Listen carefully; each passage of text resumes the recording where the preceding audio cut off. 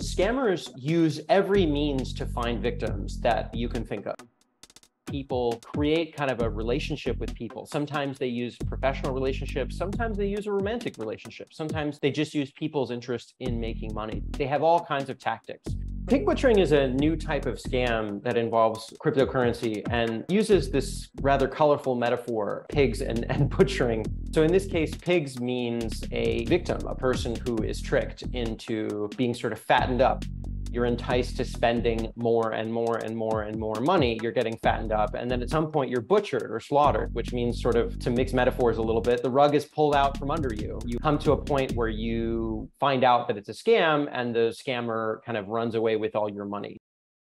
In the case of the story that I've just published for Forbes, this involves a victim named Sai. He was approached kind of out of the blue from a text message that he got from a person who called herself Jessica. She claimed that they were old uh, work colleagues and they started a conversation that way. Sai was at a very emotionally vulnerable point in his life.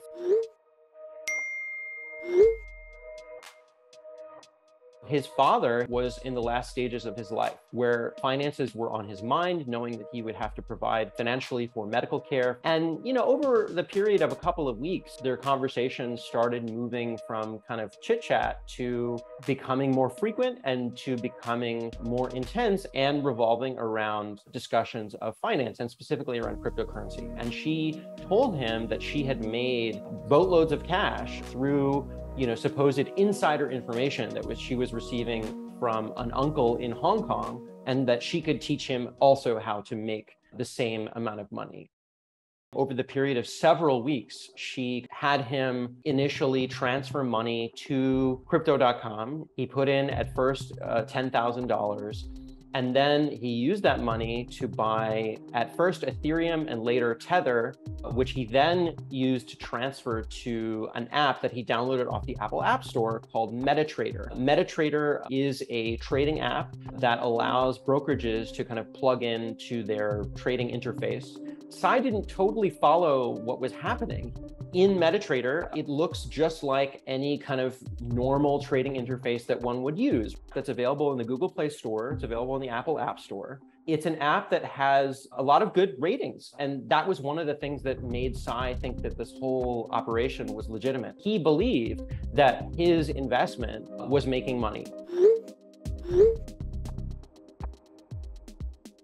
They're showing him what he wants to see. They're showing him what he believes to be profits. Jessica would tell him, kind of out of nowhere, to click buy up or down in the app. He didn't fully understand what that meant, but what he did know was that each time he followed her instructions, almost always it would show that his, you know, purported investments would end higher.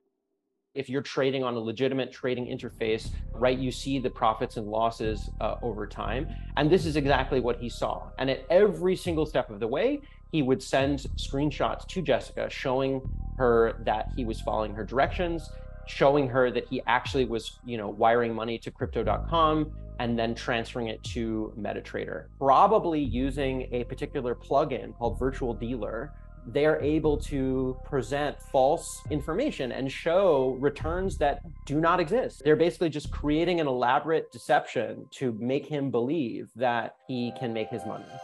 During the course of this scam, his father actually passed away. And that was, I think, around the time when Jessica decided to go for the butchering. This so called big market came just after Sai's father passed away.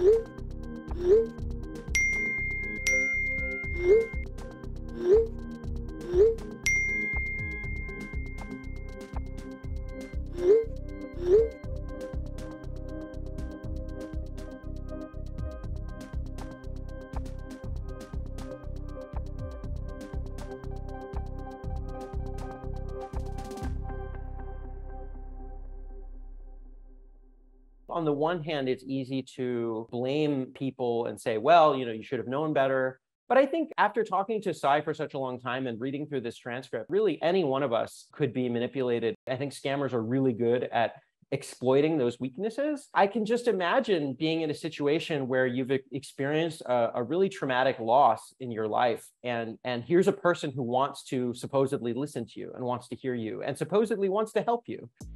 Experts believe that the scale of these scams is in the billions of dollars annually. And it's quite frightening because there have been relatively few documented cases of victims being able to get their money back.